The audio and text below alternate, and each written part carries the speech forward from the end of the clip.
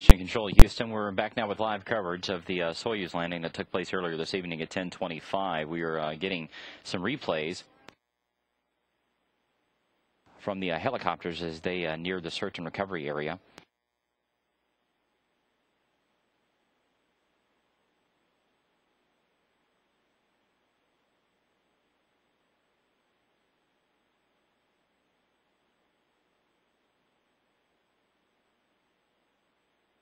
As you can see there, the Soyuz uh, did indeed land on its side, which is uh, typical sometimes.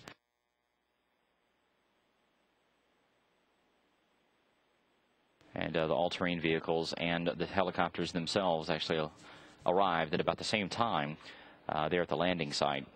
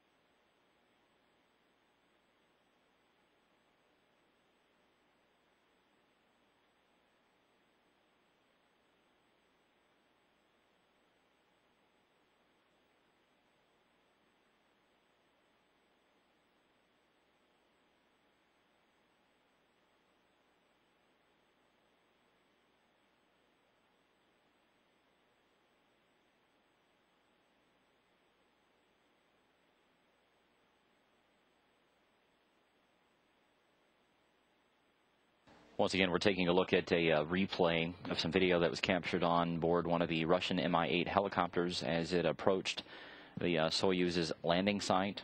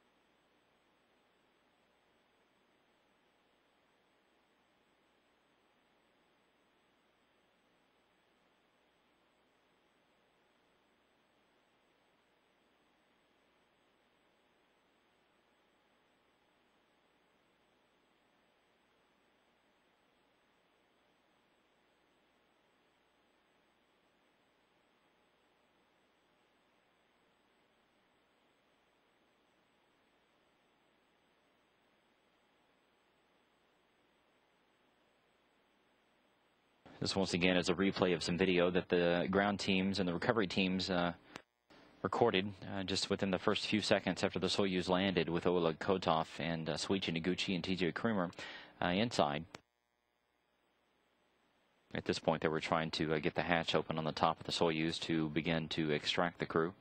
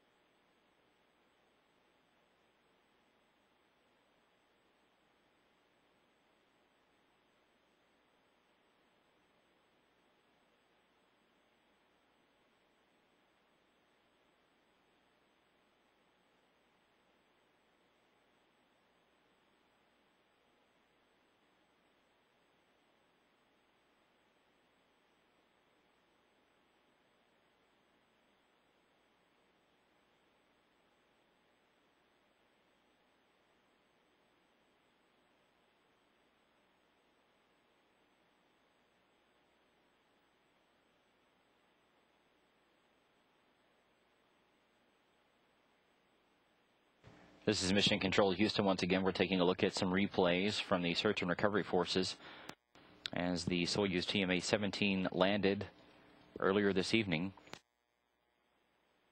That landing took place at 10:25 p.m. Central Time, 9:25 a.m. there in Kazakhstan, where the uh, landing took place.